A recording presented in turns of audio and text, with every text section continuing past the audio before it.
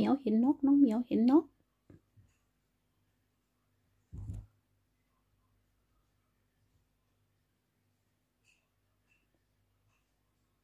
หนาวหนาวเข้าบ้านเร็วๆ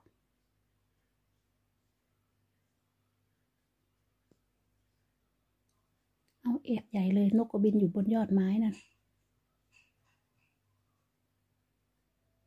ไม่หนาวเหรอเข้าบ้านเข้าบ้านเร็ว